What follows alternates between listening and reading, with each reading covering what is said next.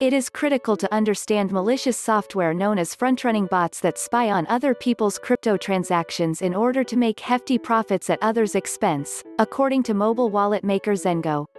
Only then, developers could build more secure systems. One popular example of front-running involves exchange bids. Say someone is about to buy a huge amount of ETH on Uniswap, enough to drive the price of ETH up. One way to benefit from this scenario is to put a transaction to buy ETH just before this huge amount of ETH is purchased, while the price remains lower.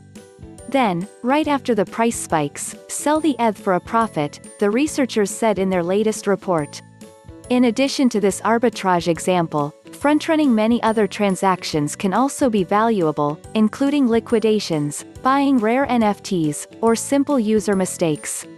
To study the bot's behavior, ZenGo's researchers trapped them with small amounts of locked crypto.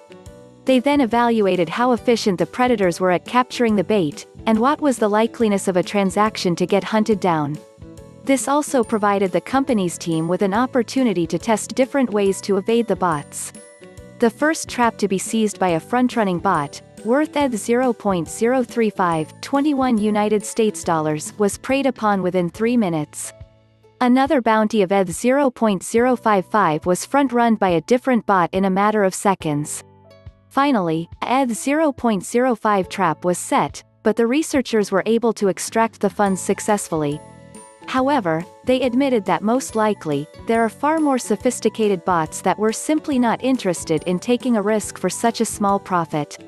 The scary reality right now is that if there is some call to a contract yielding a profit that anyone can call, even if it is very obscure, it's highly likely some front-running bot will try and take it first, they concluded.